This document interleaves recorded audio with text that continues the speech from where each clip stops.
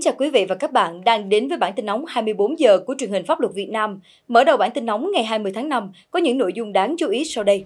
Một gia đình ba người dương tính với SARS-CoV-2 tại hẻm 287 Nguyễn Đình Chiểu, quận 3, thành phố Hồ Chí Minh. Bộ Tài chính đề xuất lập quỹ 25.000 tỷ mua vaccine.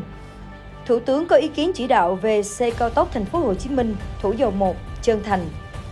Xét xử vụ cao tốc thành phố Hồ Chí Minh Trung Lương, bị cáo Úc Trọc từ chối luật sư do tòa chỉ định. Hạ viện Mỹ thông qua quyết định điều tra vụ bạo loạn ở đồi Capitol. Nga rời khỏi hiệp ước bầu trời mở. Chiến sự tại Gaza tiếp tục leo thang. Campuchia dỡ bỏ các khu vực đỏ tại thủ đô Phnom Penh. Thưa quý vị, mở đầu bản tin nóng 24 giờ hôm nay là thông tin về tình hình dịch COVID-19. Sáng nay ngày 20 tháng 5, Bệnh viện Bệnh nhiệt đới thành phố Hồ Chí Minh công bố kết quả xét nghiệm người phụ nữ trú tại quận 3 nghi mắc COVID-19. Theo thông tin từ bệnh viện, nữ bệnh nhân tên DTT, 58 tuổi, trú tại hẻm 287 Nguyễn Đình Chiểu, phường 5, quận 3, thành phố Hồ Chí Minh, đã có kết quả xét nghiệm khẳng định dương tính với SARS-CoV-2. Hai người con sống cùng nhà với người phụ nữ trên cũng đã có kết quả xét nghiệm dương tính với SARS-CoV-2. Liên quan trường hợp nghi mắc COVID-19 này, cơ quan chức năng đã phong tỏa hai địa điểm gồm nhà của bệnh nhân ở quận 3 và khu vực đường Đoàn Phú Tứ, phường An Lạc 3, quận Bình Tân, đồng thời lấy mẫu xét nghiệm các cư dân sống tại những khu vực trên.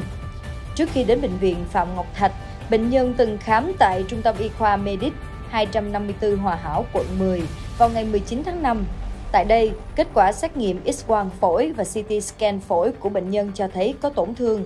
Bà được hướng dẫn đến khám tại Bệnh viện Phạm Ngọc Thạch chiều cùng ngày.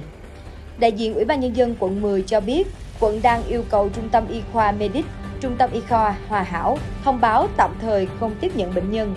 Đồng thời, lực lượng chức năng quận 10 đang có mặt tại Trung tâm Y khoa Hòa Hảo để kiểm tra các công đoạn từ khi trường hợp này đến chụp X-quang Bộ Tài chính vừa trình chính phủ phê duyệt việc thành lập quỹ vaccine phòng COVID-19 để huy động các nguồn tài trợ và đóng góp bên cạnh ngân sách nhà nước. Cụ thể, Bộ Y tế tính toán cần mua 150 triệu liều vaccine để tiêm phòng COVID-19 cho khoảng 75 triệu người. Theo đó, Bộ ước tính tổng nhu cầu kinh phí khoảng 25.200 tỷ đồng, trong đó khoảng 21.000 tỷ đồng là kinh phí mua vaccine, còn lại là kinh phí vận chuyển, bảo quản, phân phối, tổ chức tiêm chủng, Dự kiến ngân sách trung ương phải bố trí khoảng 16.000 tỷ đồng, còn lại do ngân sách địa phương chi và huy động đóng góp của các doanh nghiệp tổ chức. Tuy nhiên, nếu dịch kéo dài, nhu cầu vaccine hàng năm tăng cao, kinh phí sẽ lớn hơn. Bộ Tài chính cho rằng nếu chỉ dựa vào nguồn ngân sách nhà nước thì sẽ khó đáp ứng mục tiêu phòng dịch cho toàn dân. Do đó, Bộ đề xuất thành lập quỹ vaccine phòng COVID-19 nhằm đẩy nhanh tiến độ tiếp cận mua và nhập khẩu vaccine để triển khai tiêm chủng trên diện rộng.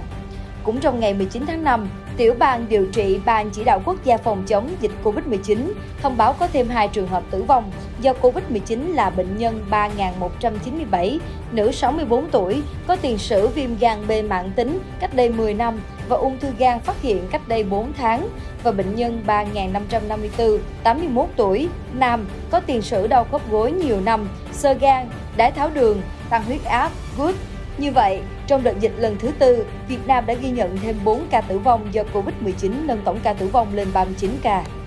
Thưa quý vị, mới đây, Thủ tướng giao Ủy ban nhân dân tỉnh Bình Phước, Bình Dương và thành phố Hồ Chí Minh báo cáo Hội đồng nhân dân cấp tỉnh để đồng thuận giao tỉnh Bình Phước là cơ quan có thẩm quyền thực hiện dự án cao tốc thành phố Hồ Chí Minh, Thủ Dầu 1, Trân Thành. Thủ tướng cũng yêu cầu cần xác định rõ trách nhiệm chi trả chi phí giải phóng mặt bằng từ nguồn vốn ngân sách của từng địa phương. Các yêu cầu trên, theo Thủ tướng là để đảm bảo thực hiện đúng quy định của luật đầu tư theo phương thức đối tác công tư PPP. Trước đó, vào ngày 18 tháng 3, lãnh đạo tỉnh ủy Bình Phước đã làm việc với lãnh đạo thành ủy thành phố Hồ Chí Minh và thống nhất Ủy ban nhân dân tỉnh Bình Phước là cơ quan có thẩm quyền để triển khai đầu tư xây dựng dự án. Theo báo cáo từ Ủy ban nhân dân tỉnh Bình Phước, quy hoạch trước đây, cao tốc này có chiều dài 69 km, điểm đầu tại ngã tư Bình Phước thành phố Hồ Chí Minh điểm cuối tại Trân Thành Bình Phước. Nhưng để đảm bảo tính kết nối, đồng bộ mạng lưới giao thông, Ủy ban Nhân dân tỉnh Bình Phước đề xuất phương án thay đổi hướng tuyến. Theo đó, cao tốc dài khoảng 70 km. Theo khái toán, tổng kinh phí khoảng 36.000 tỷ đồng, vốn nhà nước tham gia dự kiến chiếm 47%, tương đương 17.000 tỷ đồng, nhà đầu tư bỏ vốn 19.000 tỷ đồng.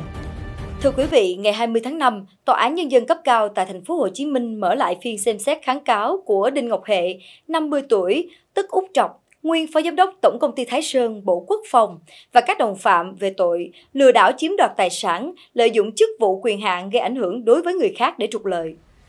Trong phần làm thủ tục phiên tòa, hội đồng xét xử cho biết các luật sư của bị cáo Hệ và Vũ Thị Hoang, 36 tuổi, giám đốc công ty Yên Khánh, cháu ruột Hệ vắng mặt, có đơn hoãn phiên tòa.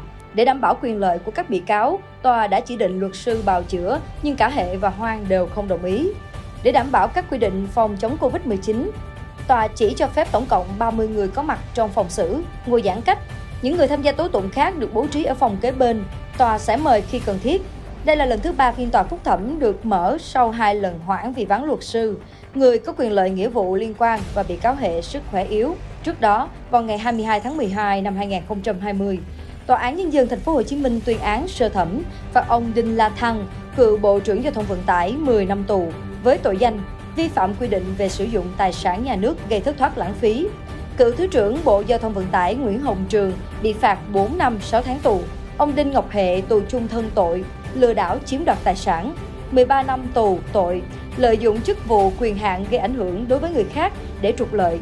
Tổng hợp hình phạt tù chung thân và buộc ông Đinh Ngọc Hệ bồi thường 725 tỷ đồng và 3,4 tỷ đồng trong vụ mua căn biệt thự công ty Licochi 13. Nhóm bị cáo thuộc công ty Yên Khánh bị tuyên phạt lần lượt từ 2 năm tù đến 9 năm tù về tội lừa đảo chiếm đoạt tài sản. Tiếp theo đây là phần tin thế giới. Ngày 19 tháng 5, với 252 phiếu thuận và 175 phiếu chống, Hạ viện Mỹ đã thông qua dự luật về quyết định thành lập một ủy ban độc lập để điều tra vụ bạo loạn hôm ngày 6 tháng 1 tại đồi Capitol do những người ủng hộ cựu Tổng thống Donald Trump gây ra. Theo các nguồn tin, ủy ban trên sẽ hoạt động như ủy ban điều tra vụ tấn công vào Mỹ vào ngày 11 tháng 9 năm 2001. Dự luật này sẽ được trình lên Thượng viện thảo luận và bỏ phiếu trong thời gian tới.